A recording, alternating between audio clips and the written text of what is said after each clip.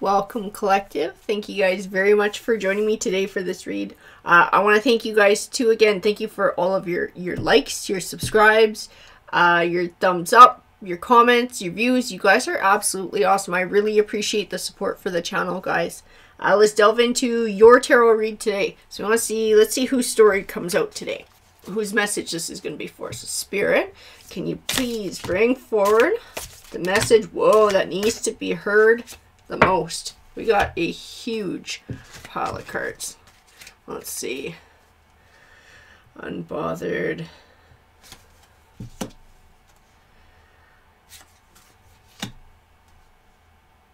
Oh yeah, you got you got someone who's kind of like it's like a copycat kind of energy. It's been coming out quite a lot in our reads energies, like jealous jealous energies have been coming out a lot. Victim, yeah. Someone's a chaser. They can't resist and want to be chased back. They're craving attention. This person pretends like they don't care about what other people say. They're like, I don't care what people think about me. That's a lie. well, Polymori here, the lie determined text determined that was a lie. This this person cares very much about what other people think of them. They care about how they're viewed. They want to be envied by other people. Yeah, they do always want to be the victim too. Anytime they get into an argument with somebody, it's, it's usually because of something they did or something they said. I got told they're like, they're pretty inconsiderate. This person's pretty selfish. They're inconsiderate. They don't really think of others. Uh, usually what causes the arguments or the problems between them and other people. But they don't own up to it. Hmm.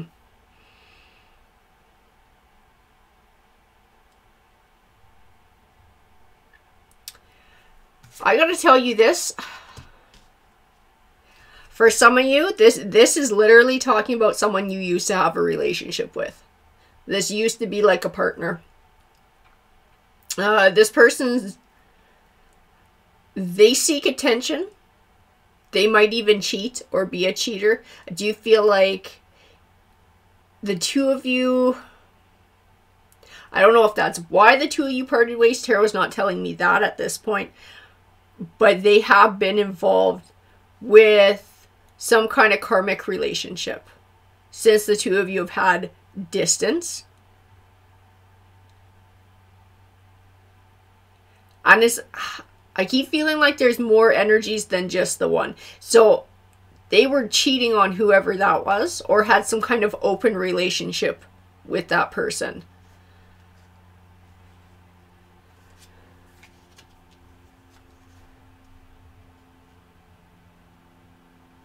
Mm-hmm. I don't think they get along well with people at work. They might have lost their job or been reprimanded multiple times or have trouble keeping a job.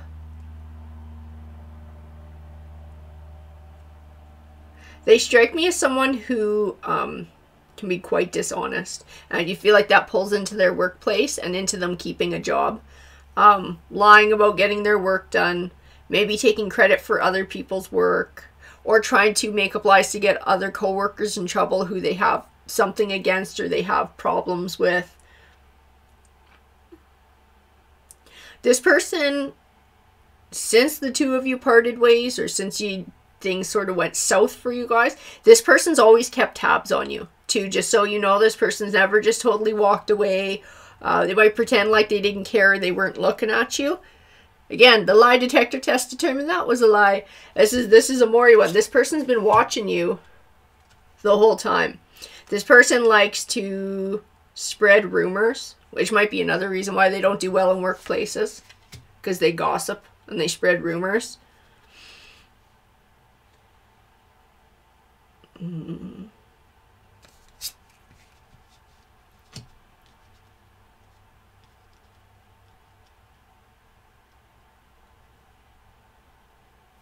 Yeah, I'm not a fan of this one, Double Life. That is... See, I keep getting pulled back into whatever relationship they had going on or might still, I'm going to tell you, might still actually have going on and not telling that person that they're keeping tabs on you. I don't know. They got a whole lot of lies going on. Feel like the extent of it is actually more than you know. And I do think you're aware that this person is a liar and this person is a game player. And that definitely had something to do with the two of you parting ways. But I think it goes beyond what you even realize. I keep feeling like um, lying for the sake of lying. Like they just kind of lie to everybody. I don't know if this person is like a compulsive liar. They got a real problem with it.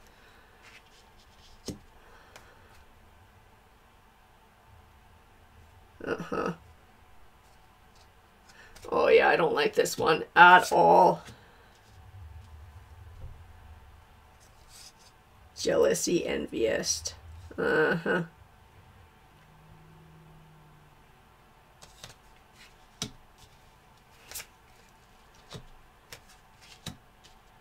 I think they're dodging someone too right now.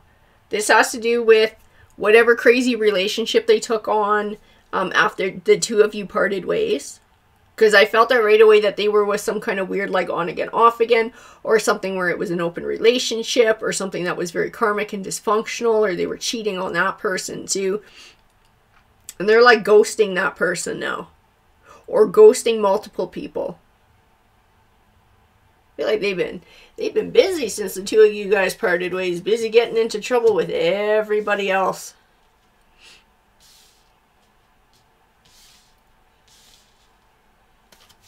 I'm going to tell you this too.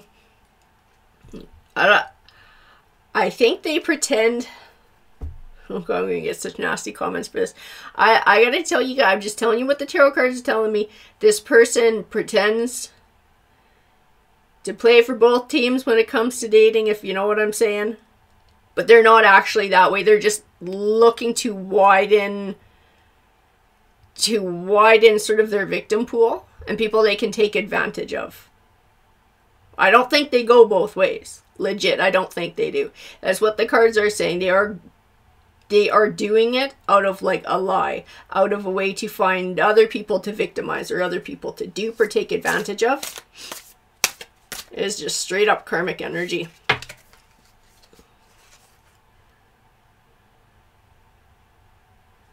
Yeah, they're hiding stuff. They're hiding what they've been up to. They've been up to um some weird online stuff too. They've been doing something online. They're trying to hide. This is part of uh, them trying to dodge somebody and ghost somebody. I don't know if somebody's found out their online secrets or they're trying to keep it a secret. But because they're ghosting this person and this person is is kind of crazy karmic energy, that person's going to be looking for them and hunting them down. I think they're going to stumble across what was going on online here. So we have something here about um, gambling addiction. Uh, maybe. I think it's more than that. I think it's some kind of weird online dating. oh, gross. I don't even like saying this. Really, spirit. Okay. So it's like orgies like they get into like multiple people things. I don't like going there. Bit of a prude, so talking about that stuff makes me a little bit uncomfortable. Yeah. And they have been keeping an eye on you online too. Just so you know, if you have any kind of social media or whatever, uh, this person's been trying to keep track of you. Even if you don't post anything, I don't know if you have family or friends who post things with you in it because you happen to go to functions, birthday parties, whatever they, they try and track you through that too.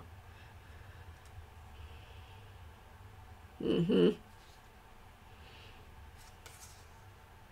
Yeah, acting as a groupie. Yeah. I don't know about this one, guys. This one's a really interesting energy. Uh, we... I get told to set the cards aside. We're going for... I'm going to go for some tarot here. So I'd like to know why this message came forward today. Like, what's what's happening with the collective? Why are we hearing about this this karmic person?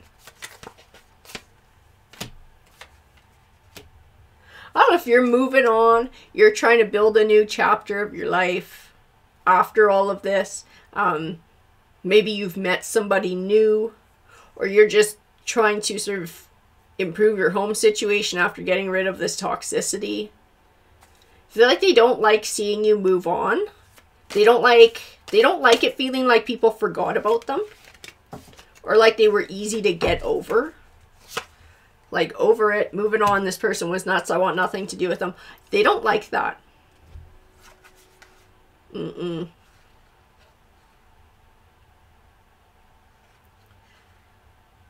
No, they don't like being kicked to the curb. They don't like being ignored. They want they want to be the one who does the ignoring and have everybody chase them. Even this person they're ghosting and trying to keep secrets from, that makes them nervous if they get found out. They like that game. That is so strange. They get off on that game. Whoever this person is, they're enjoying it. They're like, they don't like that you've been ignoring them. They're like, don't ignore me. Don't ignore me. I would not be surprised if this person drives past your house at times or your place of work or shows up at your place of work depending on where you work and what your job is. Yeah, because they know you're moving on. Through some way, shape, or form, this person knows that you're starting a new chapter. You're not missing them. You're happy. You're stable. You're manifesting things for yourself. This person is aware. They're aware.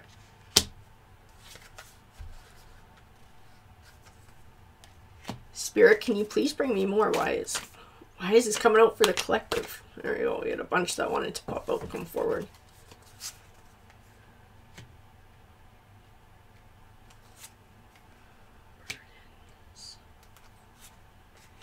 Hmm.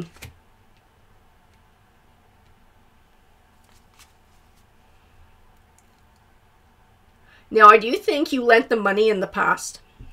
They gave you sob stories about um, debt or or falling on hard times or things like that.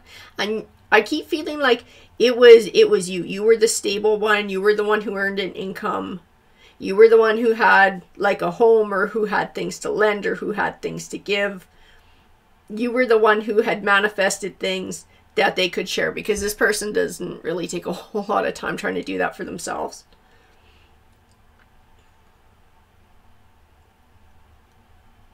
And they were just nothing but burden because they just they took and they took and they took and all they brought was drama.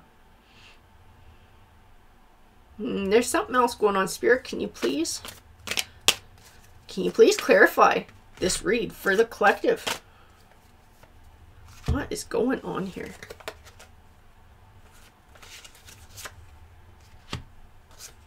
Mm-hmm.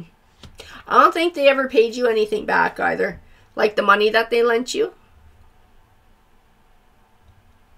I don't think you ever saw any of it back. They keep getting like they owe you. You might not be the only one that they owe money to. They might actually have other people chasing them too. And this might be part of the people they're trying to ghost. Or people that they owe money to. Because I get like legal in here. Something with the court system, something with the justice system. They actually legally owe money to people and they're like dodging it. They're dodging responsibilities.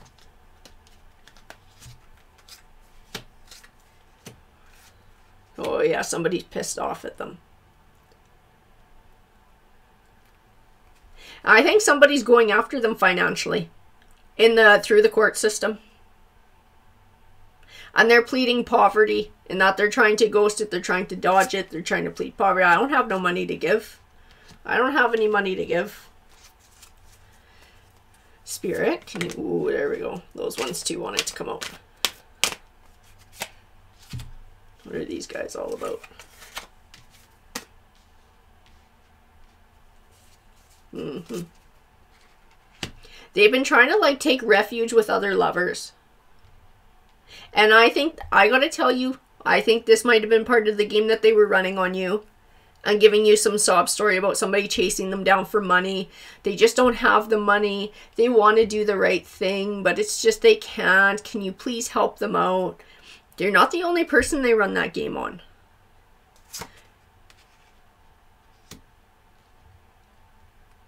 And then it's like they take money.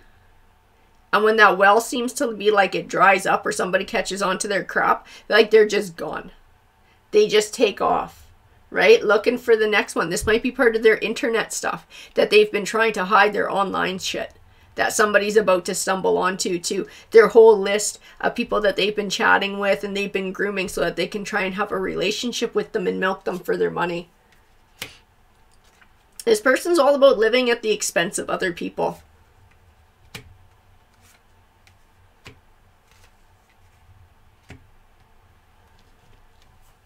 And trying to put their burdens on other folks too so that they don't have to pay the price for it. They don't have to grow up. They don't have to accept responsibility uh, or accept any kind of accountability for what they've done for what they've taken from people for for the hearts that they've broken.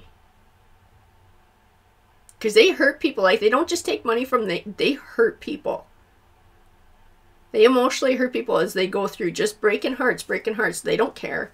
They don't care that people lose sleep over it. They don't care that people shed tears over it and have heartbreak or depression or financial troubles. They just like they don't care. Well, there's karma coming back around though. There's karma coming back for this person, and that's what I could feel in the oracle cards too. Is like they're about to get found out. Their online stuff is about to get revealed and they're about to get found out. Everything coming back into balance. Yeah, all the worry, all the heartache that they've caused other people. I feel like those burdens are about to be put back on them. They're about to be caught. They're about to get the heartache. They're about to get the worry, the sleepless nights, the anxiety. That wheel of the year, the wheel is turning. Is not turning in their favor, though, I can tell you that right now.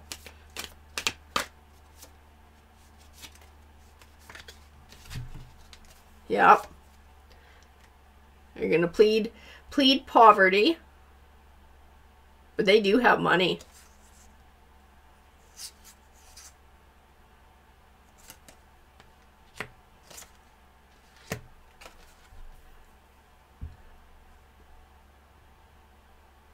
Where do they get money from? Are you feeling like they've squirreled some money away somewhere? Or they've hidden money?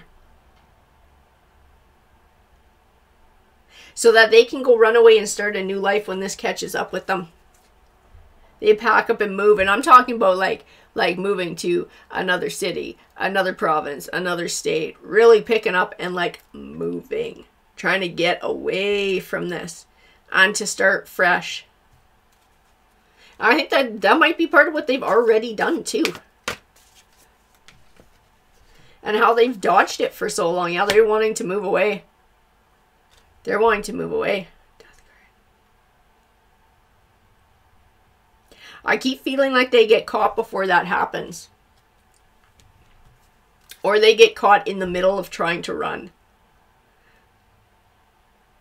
Like this legal stuff getting sort of levied against them and they realize it's all coming down the pipe and like packing up and taking off in their car and then getting pulled over for speeding and their name gets run and it's like boom there you are. As because i keep getting like they're they're literally physically trying to run trying to get away and put distance in between them and them getting found out in this court trouble and the money trouble. But it catches up with them. They're like literally stopped Spirit, can you please give the collective some more on this?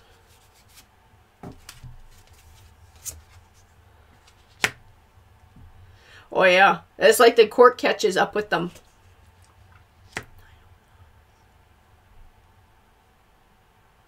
Uh-huh. From their past coming back to haunt them. So their choices from the past. They thought they could pull the wool over somebody's eyes. They thought they could dodge this forever. They thought they could just keep running and running their little game and nobody would ever find out. But it caught up with them. Because they tangled with somebody, like the wrong somebody. Like, I'm sure you're pissed off about what this person did to you. But the one who's like pressing like legal charges, uh, really pursuing that in the court system, that person is angry. That person was not to be crossed.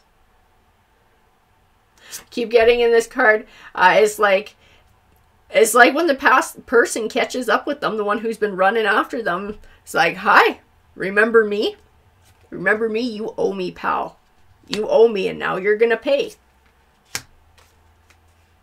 Oh yeah, the the court system is going to hold this person accountable for whatever it is they owe, for the wrongdoing that they've done on behalf of whoever this Queen of Wands is, who's been chasing this person down for a long time.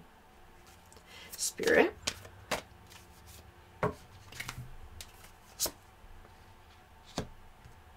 I keep feeling the words like um dodged a bullet too. With you and this person, I think it could have been a lot worse. I do feel like this person was after your complete life savings. Possibly even like your car, your home, all of your belongings. And I don't feel like they got everything. Like I said, I I could see in the cards, the cards were telling me that you did try and help them out and loan the money. And it's like you got burned enough times that you were finally you had finally just had enough. I also got told with the Seven of Pentacles the words just desserts. This person is getting their just desserts. They are reaping what they've sown. They want to, you know, live like a player, act like a player on somebody else's dime. Eventually, the shadows catch up. Their shadows catch up with them. Like they didn't learn their lesson. And now the universe is stepping in. Oh, to teach this person a lesson. This is the one I want to see first. Yeah. Tower. Exactly, right? This person's got a tower coming. And it's one they made for themselves over and over again with their poor choices and they're taking advantage of other people on their selfish, inconsiderate ways. I keep getting in this like um you don't know when it's coming, buddy. Like the universe is telling them like you don't know when I'm going to show up, but I'm going to show up. And I'm telling you I keep getting it's like when they're trying to flee. When when all of this is about to catch up with them, it's right hot on their heels. They're literally like packing up a car and trying to drive away. And somehow they don't get very far. That's when it catches up with them that moon card. It's like their past finally catches up with them. No more running. No more running. It's just a matter of time. It's like this is on this is on a collision course. This karma, this path.